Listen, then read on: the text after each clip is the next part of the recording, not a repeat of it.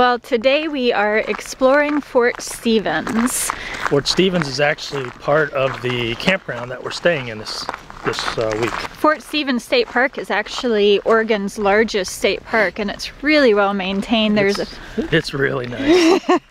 there's a lot to see and do here. So today we're doing, we're exploring the old military fort which was active from the Civil War uh, all the way through World War II. It was actually bombed by the Japanese, um, by a Japanese submarine back in World War II. So the reason Fort Stevens um, is here is because it's right on the mouth of the Columbia River. And so these forts were placed on both the south and the north um, mouth of that river to protect it since it was a major trade route. But yeah, so that's what we're doing and we're about to go through it.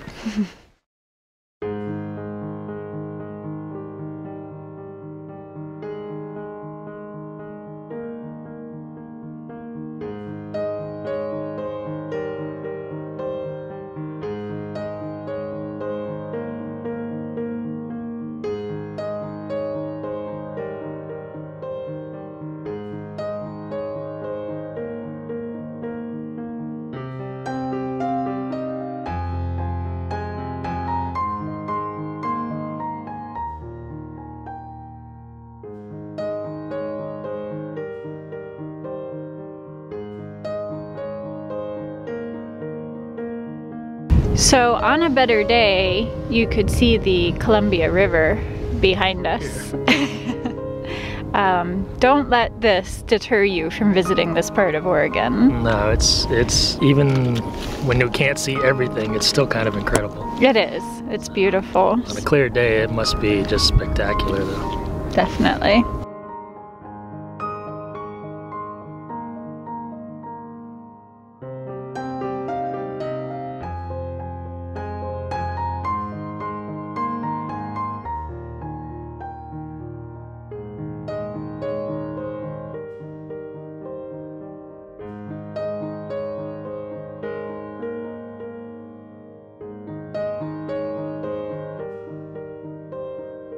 So we were told when these guns fired, they would raise up above the wall, fire their shell, and then come back down to be reloaded.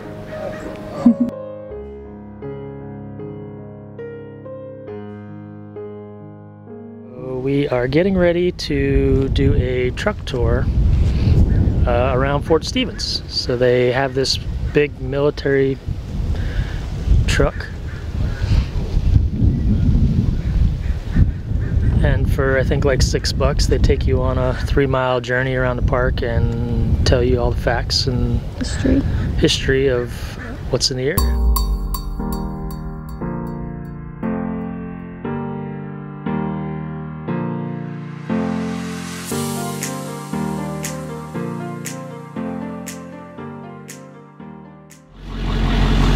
All right, we just finished up at Fort Stevens. That was uh, way more interesting than I really anticipated it to be. Normally the history stuff is, uh, can be a little difficult for me to get into, but I really enjoyed that. I think the tours are the way to go. That was, that was fun. Yeah, we were gonna shoot this outside with a really cool backdrop, but we just spent an hour on an open air army truck and I am freezing. It's cold out there. It's pretty chilly. the tour is definitely the way to go. They have very limited um, tours during the week. There are only two tours a day, 12.30 and 2.30, and there's only room for 14 on the bus. Uh, but it's well worth doing if you if you can. It was only $6 a person. Um, and it, number one, is really cool because you get to ride on a military truck. Uh, and number two, provides a lot of really interesting information about this area um, and the fort, the history of the fort and how it was used starting at the Civil War through World War One and World War. Yeah. Um, some interesting things that I uh, learned on the tour. So the Columbia River, um, where it flows into the Pacific creates a lot of sandbars Uh, and it's actually that area right there is known as the graveyard of the Pacific because there have been so many shipwrecks because that sandbar is constantly moving as storms come in from the Pacific they move the sandbar and so the sailors could never rely on where the channel was going to be. And it also makes for a very rough entrance there. They say in the wintertime when the storms roll in off the Pacific, it could have 30 foot waves at the entrance of the Columbia River. Which is a reason why the Coast Guard has their training station here for rough water uh, because they have pretty reliable rough water. They say it's one of the busiest Coast Guard stations in the nation. Yeah, they have four, 450 to 500 rescues each year. Um, so yeah, pretty interesting area around here.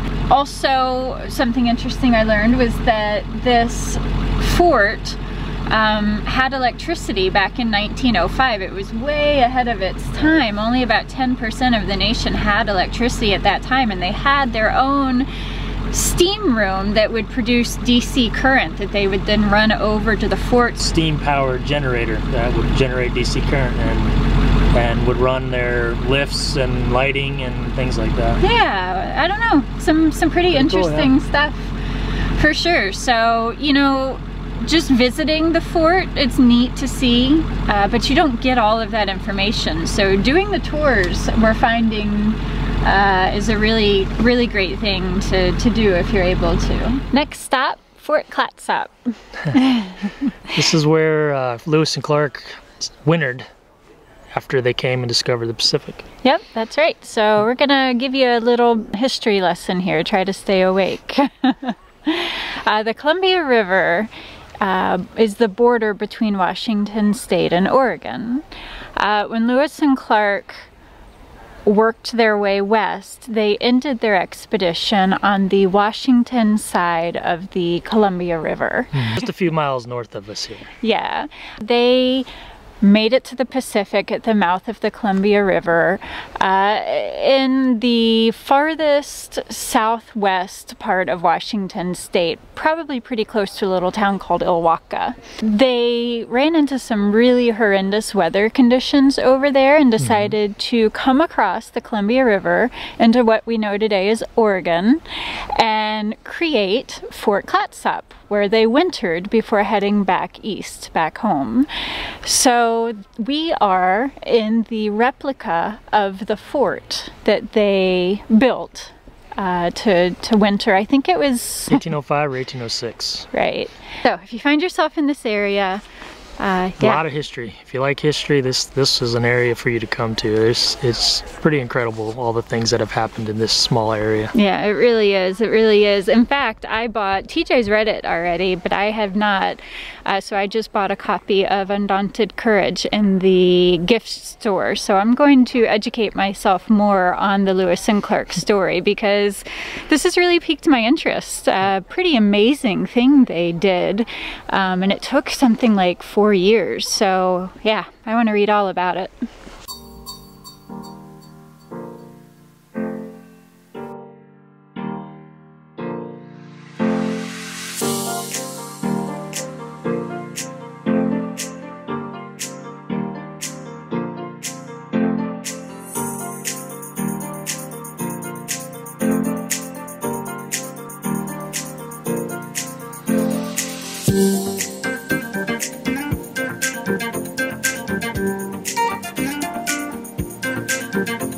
So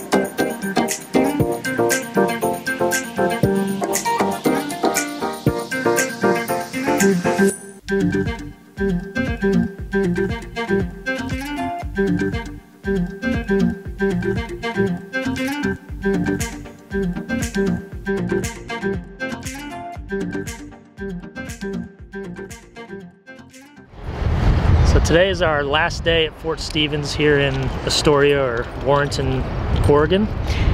Um, we have a little bit of time this morning. Checkout's not till 1, so we thought we'd finish up with the last few things that we've missed. Yeah, there's some beach access that we haven't hit yet. Um, so you gotta, you gotta see the Pacific Ocean and its glory uh, when you have the opportunity. Yeah, so that's where we're headed.